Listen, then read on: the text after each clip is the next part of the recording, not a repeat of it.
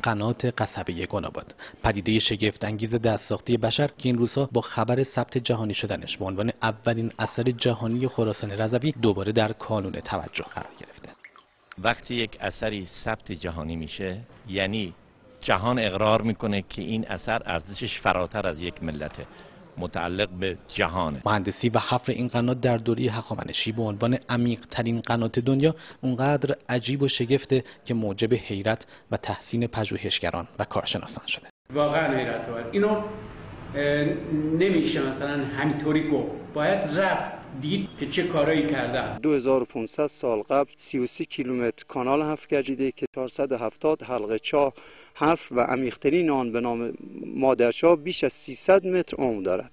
اصلا شما به همین یه نکته فکر کنید که وقتی مجموع حفاری های عمودی و افقی این سازه هخامنشی 100 کیلومتر و مجموع خاکبرداری این پروژه حجمی بالغ بر 70 میلیون متر مکعب. اونم با دست خالی. 70 میلیون متر. بله 70 میلیون متر مکعب. یعنی چیزی هولوش یک میلیون کامیون خاک.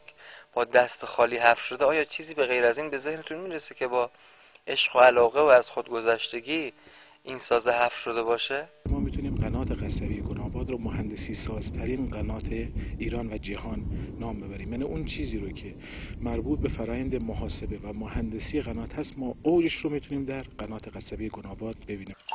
پژوهشگران با توجه به شگفتی های فوق این قنات معتقدند مغنیانی که این قنات را حفر کردند از علومی همچون زمین شناسی، سنگ شناسی، اقلیم شناسی و جهتیابی بهره مند بودند. جهانی شدن این میراث گرانبها فرصت مناسبیه برای معرفی هنر، تمدن و دانش ایرانی به دنیا. سید علی صدعی خبرگزاری صدا و سیما گناباد